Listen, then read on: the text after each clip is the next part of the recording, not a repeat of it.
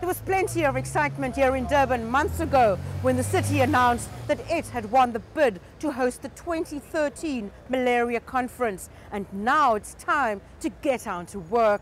Around 1,500 malaria scholars, including researchers, activists, health workers and policymakers are meeting here this week to exchange notes. Opening the conference, South African Health Minister Dr. Aaron Motsoaledi said although the number of people who die of malaria in Africa every year is unacceptable, there has been a sustained decline in many African countries including South Africa, over the past few years. And as the conference gets underway, experts here are not just talking about initiatives to prevent malaria.